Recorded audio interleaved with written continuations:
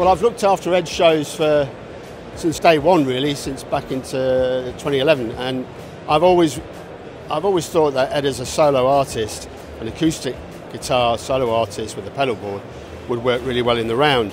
Uh, and I've, I've been nagging him for well the best part of 10 years to say, you know, when do you think you'd be ready to go in the round? And it's not something that you can just expect an artist to to jump into. And um, but at the end of the last tour, the end of the Divide tour, Ed turned to me and said, "You know what, Mark?" I said, "I think I'm ready."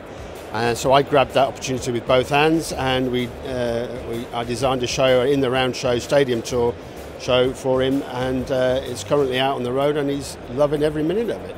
In the round shows, especially in stadiums, because you've got no roof, uh, are notoriously difficult, and they present their own problems that I don't like uh, an artist being obscured by metal posts um, so that they can support a production roof. Um, and I tried to convince him to have a, a single column, like a mushroom, that would uh, envelop out and give us a roof for production, and he didn't like that idea. So I went away to the drawing board, and I, um, I came up with the, the cable. I came up with the idea of using an existing production technique, which is cable net, uh, supported by six masts. But the biggest conundrum for myself and the team was, can we tour it? Can we physically put it up in a couple of days, take it down in a couple of days, have two systems and leapfrog them, and you know turn it into a business model that would work for a stadium tour? Well, uh, after three months of a lot of uh, engineering drawings and wind tunnel tests and mathematics and all sorts of calculations, I was able to go to the artist and say, you know what, Ed, Stu, we can do this.